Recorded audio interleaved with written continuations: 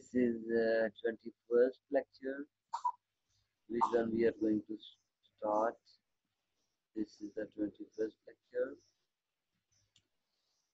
This is the 21st lecture. In this lecture we will discuss the impact of monetary policy under a fixed exchange rate on Mundell Fleming model equilibrium. That is very interesting. Under Mundell Fleming model, so here we will discuss the impact of monetary policy under fixed exchange rates on Mundell Fleming model. Already what you have done the types of uh, the forms of monetary policy. Two forms of monetary policy we have discussed already. The first one is the expansionary monetary policy. The second one is the contractionary monetary policy. Now, in this table, in the big color table, you can see here. But in this table, we find the comparison between under floating exchange rate and under fixed exchange rates. Okay. Here we are going to discuss the comparison between floating exchange rate and fixed exchange rate for monetary policy.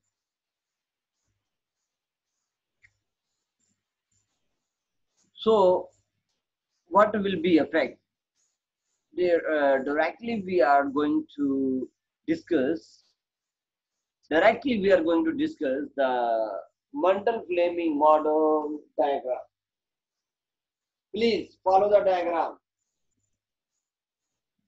On the vertical axis, exchange rate. On the horizontal axis, income. You remember? Okay, first IS curve is IS1 with blue color. First LM curve with LM1 with blue color. Now, the first equilibrium place is over here at this exchange rate, at this equilibrium place, exchange rate is fixed with fixed line. You can see here the fixed exchange rate. This is the fixed exchange rate which is fixed by the central bank. Okay? And the equilibrium level of income is Y1. Okay? Y1. This one is the simple presentation of Mundell Fleming model. Already आपको ये पता है. Now, अब economy recession की condition होगी. Recession की condition में हम कौन सी मॉनेटरी पॉलिसी अप्लाई करेंगे इम्प्लीमेंट करेंगे okay which monetary which form of monetary policy will be followed by the central bank to remove the recession from the economy. So here very clear, in case of recession, expansionary monetary policy is the most, most, most suitable option. The most, most, most suitable option to remove the recession. That is another point whether recession is removed or not. हमने बेटा expansionary monetary policy implement करनी है फिर उसके बाद ये next point है कि उसके साथ रिसेशन रिजॉल्व होता ही नहीं होता रिसेशन खत्म होता ही नहीं होता ये बात की बात let's come let's apply monetary policy easy expansion monetary policy in this case what happened to the markets state bank apply expansionary monetary policy money supply curve shift right. Money supply curve shift right. As money supply curve shift right, LM curve also shift right. You can see with the red color LM curve, LM curve too. Getting the point? Here, the new equilibrium point is over here. We are over here at new equilibrium points. At new equilibrium point, we are over here. Okay. When we are over here, as money supply increases, LM curve shift right. Now, as LM curve shift right, income level increases, we reach new equilibrium point from here to here. You can see at this equilibrium point, can you follow the follow the cursor? This is a new equilibrium point E2. Suppose E2. At this equilibrium point, exchange rate has decreased if exchange rate is floating E2. And income level has been increased from Y1 to Y2. That is the that is the first impact of uh, monetary policy to remove the recession. That is the first point. Now, our next point is very clear. Now, exchange rate has been decreased and income level increased and recession problem has been resolved from the economy. Overall income level बड़ा increase हो गया है recession economy से around about खत्म हो चुका है क्योंकि इनकम लेवल लोगों का बढ़ गया है now but the problem is that exchange uh, the state bank has uh, announced the fixed exchange rate at E1 not at E2 this fixed exchange rate policy this fixed exchange rate policy this fixed exchange rate policy will affect, will force the state bank to fix the exchange rate at E1. अब fix policy ये कहती है state bank को कि आप exchange rate को E one पे fix करो ई टू पे ना जाओ। That's the very genuine genuine issue अब स्टेट बैंक क्या करेगा? एक्सचेंज रेट को ई वन पे फिक्स करने के लिए हमने क्या कहा था? State Bank will shift L M curve to fix the exchange rate now state bank will decrease the money supply to shift the lm curve now lm curve दोबारा से बेटा now state bank will fix the exchange rate at E1 by shifting LM curve left. अब उसने state bank के पास क्या, कौन सी पॉलिसी होगी एक्सचेंज दोबारा बैक आ जाए। That is second one option state bank will decrease money supply to fix the exchange rate at even exchange rate will shift LM M back to LM one to fix the exchange rate अब LM two LM one की तरफ़ कैसे shift होगा? By decreasing money supply by decreasing money supply. As money supply decrease by the decrease by the state bank.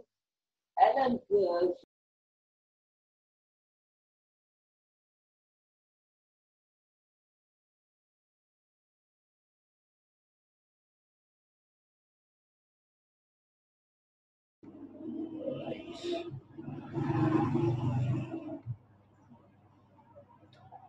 Okay, sorry for that.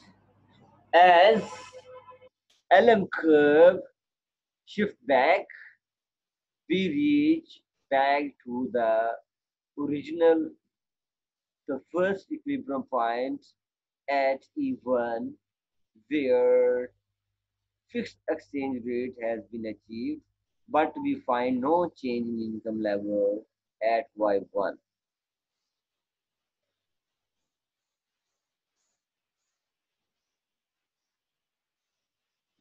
Okay. As LM curve shift back, exchange rate is fixed and we reach over here, the first equilibrium point where exchange rate is E1, not E2, where exchange rate is fixed by the state bank by shifting LM curve left, where no change in income, no change in exchange rate. Now we are going to discuss the comparison. Get ready to discuss the comparison. What happened to under floating exchange rates? Under floating exchange rates, as monetary policy, as expansionary monetary policy in recession is implemented in the economy, then this monetary policy is very effective at changing output level. This monetary policy in case of floating exchange rate is very effective at changing output level. जब बेटा exchange rate floating था, आप यहाँ पर E2 पे आ गए थे, वहाँ पर इनकम लेवल भी चेंज हो गया था और आप सेशन से निकल गए थे but under fix exchange rate monetary policy expansionary monetary policy in recession is not effective at changing exchange rate does not affect output level. As a result, no change exchange rate, no change in output level. But that, that is the point we have done. That is very easy point. Okay. So now we have done. Now we have done the effect of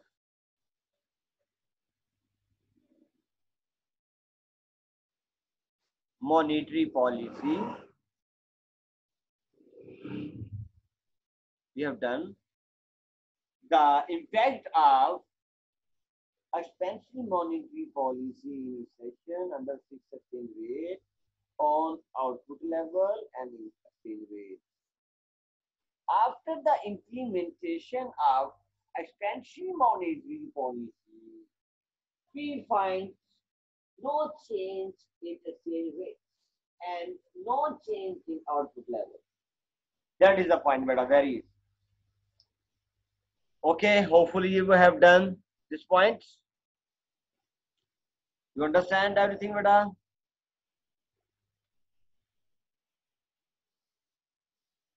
Okay.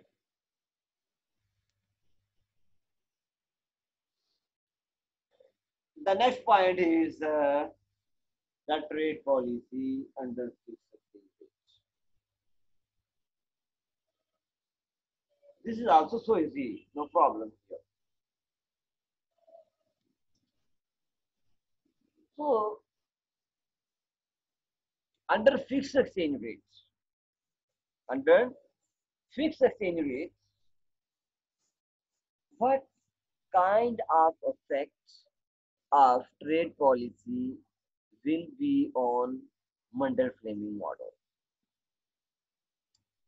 Similarly, in the pink table, we will see the comparison between fixed exchange rate and floating exchange rates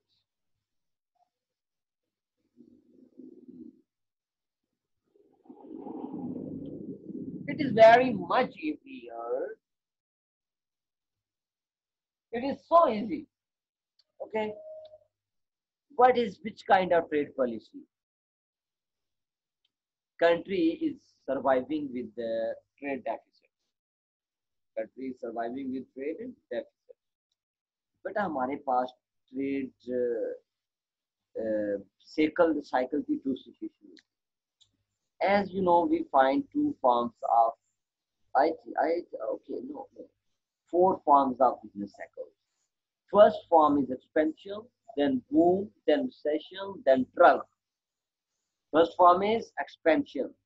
Economic activities are going up. That is the expansion in the economy. That is the expansion of business cycle. Then we reach at boom points where economic activities at the highest point, at the peak. Then economic activities with the passage of time decline. Over the time, when economic activities decline, this one we say recession. The lowest point, the lowest point of economic activities is the trend. So these are the four forms of economic activity. Four forms of economic activity. So here, one thing that you not mentioned here, you must keep in your mind that economic, our uh, economy, Pakistan economy is facing trade deficit. Deficit means that exports are lower, imports are high. Then four forms are trade cycle. Trade cycle is a combination of four forms. Surplus, boom in trade, deficit in trade, and trough in trade. First form of trade is surplus in trade, boom in trade, deficit in trade, then trough in trade. These are the four forms of trade. That's here economy is in the uh, deficit position. When trade activities are getting lower, lower, lower, lower. अब trade deficit situation कब होती है जब export कम हो import ज़्यादा हो इस तरह पाकिस्तान की सिचुएशन है कि इंपोर्ट पाकिस्तान की बहुत ज़्यादा है और एक्सपोर्ट पाकिस्तान की बहुत कम है तो in this trade deficit situation. Now, under fixed exchange rates, which trade policy will be followed to stop trade deficit, to remove trade deficit.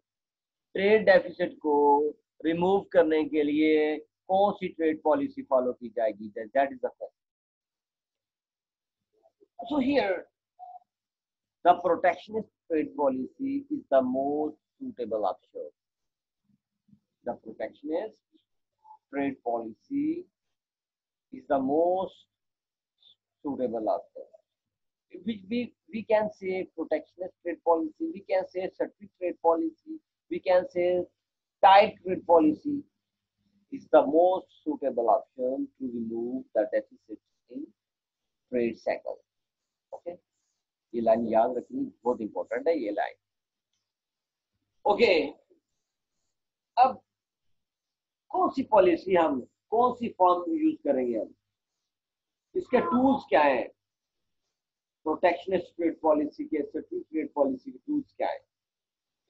First tool इसका बेटा है import tariff import tariff the second हम उसके पास इसका tool क्या है?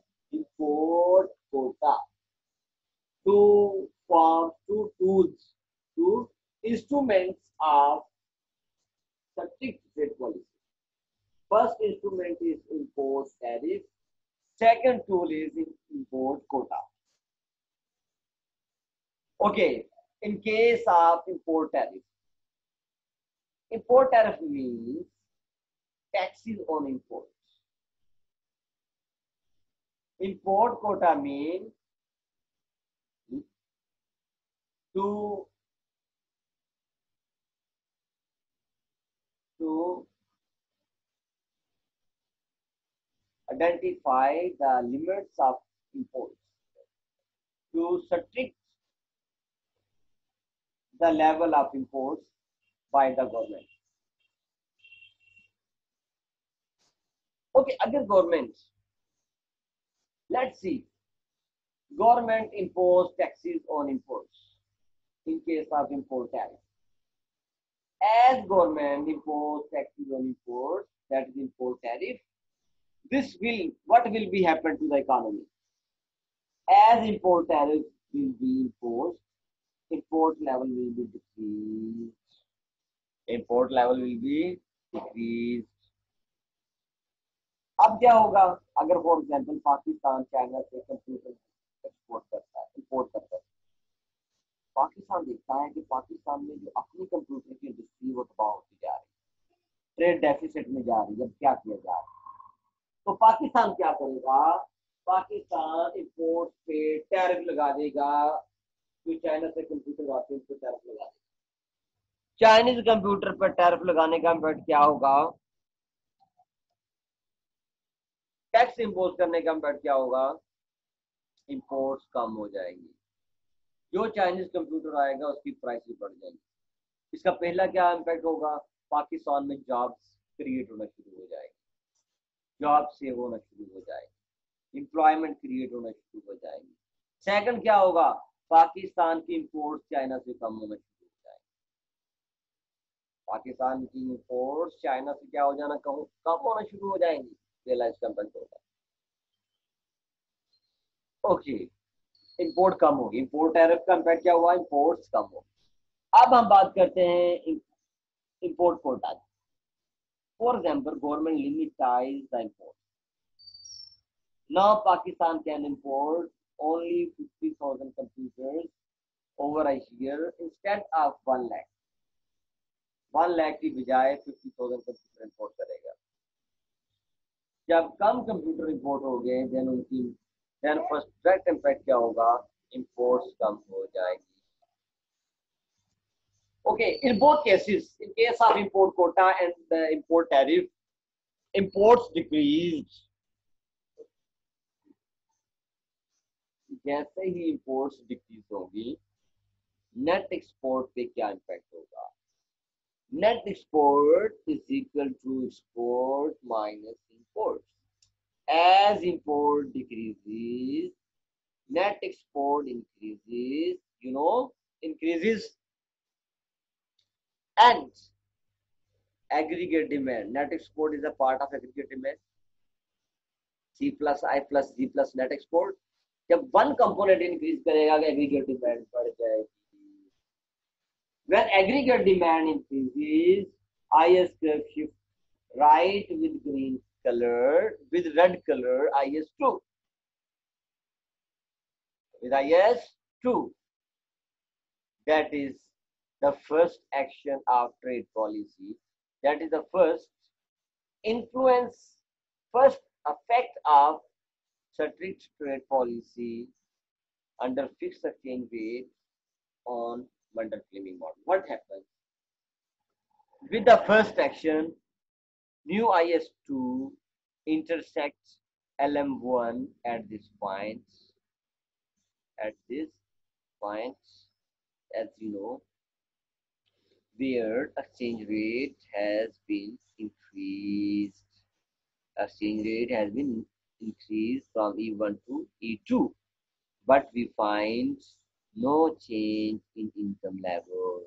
This is the first influence of trade policy and the fixed exchange rates in by import tariff or import quota. The first impact क्या हुआ बेटा कि आई एस कर्व आपका शिफ्ट हो गया आई एस वन से I S to with red red color the new equilibrium point over here there we find no change in income, but we find a change, but we find little change in exchange rate. Exchange rate has been increased. That is the point of discussion. The first influence you keep in your mind, then the remaining things we will discuss in the next lecture. If you have any issue in the lecture, you can ask your question. Okay. Now I am going to close eh, the